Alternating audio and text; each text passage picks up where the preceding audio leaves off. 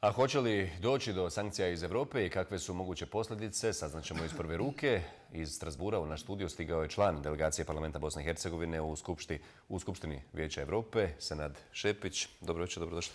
Dobro večer, hvala vam na pozivu. E, evo, mene zanima najprije koje evropske zemlje su predlagale oštre sankcije e, Bosne i Hercegovine. Pa iz početka su predlagali svi. Dakle, kad je, napravljena, kad je napravljen tekst rezolucije, finalni tekst rezolucije kojeg su radili izvestioci za Bosnu i Hercegovinu, onda je na prvom sastanku komiteta, monitoring komiteta u Parizu prije negdje mjesec i po dva dana, sve su zemlje, sve članice koje učestvuju u monitoringu su bile za to da se Bosna i Hercegovina sankcioniše. Odnosno da se Bosna i Hercegovina, najjednostavnije kazano, odstrani ili isključi iz Vijeća Evrope i da se ljudima koji predstavljaju Bosnu i Hercegovinu zabrane učešće u parlamentarnoj skupštini Vijeća Evrope. Dakle, to je bila pozicija prije mjeseci po dana. A, našu delegaciju, pored vas, činili su još Milica Marković, Ismeta Dervoz, Borena Krišto, Nermina Kapitanović i Saša Magazinović. A, djelovali ste nekako jedinstveno, što je za svaku pohvalu. I evo, na koji način ste uspjeli a, ubijediti Vijeće Evrope da sankcije barem za sada jeli, izostanu, odnosno koje zemlje su nam dale podršku. I tu je bilo podrške sa svih strana praktično. Pa ja mislim da je najbitnija stvar ili najjača stvar koju smo mi imali sad u Strasburu i u proteklom ovome periodu od momenta kad je napravljen tekst prijedlog ove rezolucije je bilo to da smo mi koji predstavljamo Bosnu i Hercegovinu u parlamentarnoj skupštini Vijeća Evrope zaista govorili jednim glasom. Moram reći da je to me, mene kao čovjeka jako radovalo, da je u stvari to pokazalo se da je to bio presudani moment. Dakle, -hmm. kad smo razgovarali sa kolegama iz drugih zemalja, da smo imali jedan jak adut u ruci, da kažemo da se iz Bosne i Hercegovine govori jednim glasom. Da dolaze ljudi koji predstavljaju različite političke stranke, mm -hmm. različite narode, entitete, kantone, izborne jedinice, nazovite to kako hoćete, ali su to u stvari ljudi koji su interes države Bosne i Hercegovine u tom momentu stavili na prvo mjesto. Dakle, to je podržano i to je na neki način i pohvaljeno od strane naših kolega iz ostali zemalja Evrope, jer su oni velikom većinom na kraju odlučili se ipak da promijene svoj 100-postotni prijedlog iz početka da se kazni Bosna i Hercegovina i da se sankcioniše na neki način. Promijenili su to na način da su velikom većinom podržali naše amadmane da se te stavke iz rezolucije brišu.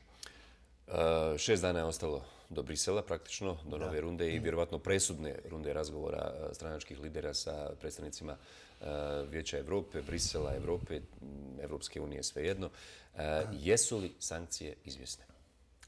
Pa ukoliko se ne završi ovaj posao, ja ne znam šta više može biti naša argumentacija da se mhm. ponovo pojavimo pred ljudima. Jer ja vam mogu reći da sam skupa sa svojim kolegama obavio nekoliko desetina različitih bilateralnih sastanaka, učestvovao na puno e, organa, tijela Vijeća Evrope gdje smo branili poziciju Bosne i mhm. Hercegovine. Dakle, radili smo to na način e, da smo govorili da mi sad smo u ume momentu blizu rješenja, da smo blizu toga da konačno izađemo iz ove krize u kojoj se nalazimo.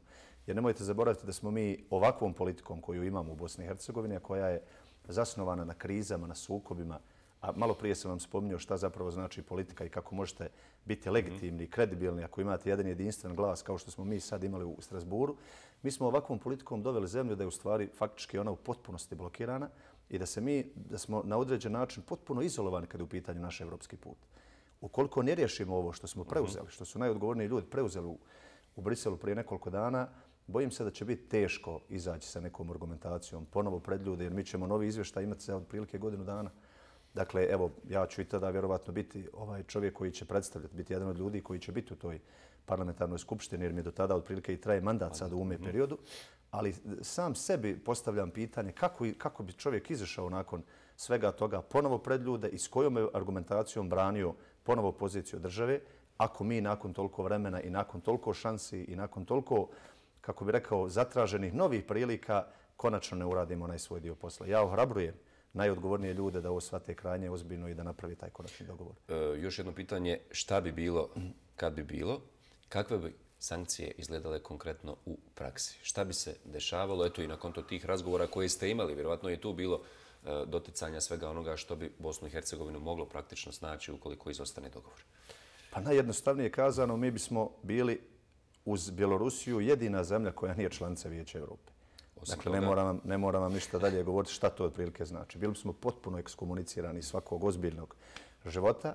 Mogli, mogli bismo u dobroj mjeri zaboraviti naš evropski, evroatlantski put i sve ovo što se zove podrška, bilo kakve vrste, na prvom mjestu sve finansijske podrške, sve fondove uh -huh. koje na neki način koristimo ili koje bismo pogotovo mogli koristiti u narodnom periodu kad je u pitanju naš, naš pristup Evropskoj uniji, to bi u potpunosti otišlo u drugi plan. S aspekta sigurnosti, s aspekta ozbiljnosti, s aspekta ulaganja u Bosnu i Hercegovinu, možete zamisliti kakav bi to bio otprilike slučaj. E, to bi vam otprilike nekako izgledalo ako govorimo to, ako pokušamo to uporediti sa nekim ekonomskim mjerilima. Dakle, da u političkom smislu odete tamo gdje se u ekonomskom smislu zove pozicija junk, smeće. Idete negdje gdje u stvari nemate više nikakvu perspektivu, nemate nikakvu kredibilnost, nemate pravo više nikom apsolutno ništa kazati. Imate jednu potpuno negativnu poziciju za koju, evo ja neću ovaj, da u momentu zaista nemam ni snage, ni hrabrosti, niti želim da mislim da bismo mi mogli dovesti Bosnu i Hercegovinu u takvu poziciju. Ovaj put smo uspjeli da ne bude kažnjena država, da ne ispaštaju naši ljudi koji zapravo nakon svega onoga što su prošli naši građani, oni ne zaslužuju da i bilo ko kažnjava, da imaju bilo kakvu vrstu sankcija i ovo je još jedan poziv, još jedna opomena svima, svima nama. Evo i ja na određen način učestvujem u tim određenim procesima, ali svima nama, posebno najodgovornim ljudima, da sjedu, da napravi konačni dogovor i da povučemo zemlju naprijed prema Evropskoj Uniji i prema NATO. Gospodine Šepić, hvala lijepo što ste izvojili vrijeme, bili gost dnevnika i evo, za šest dana nadamo se također zajedno sa vama da neće doći do sankcija, da ćemo evo na kraju krajeva odkočiti ovaj put koji smo zakočili. I ja se najiskrenije nadam. Hvala vam na pozivu. Hvala lijepo.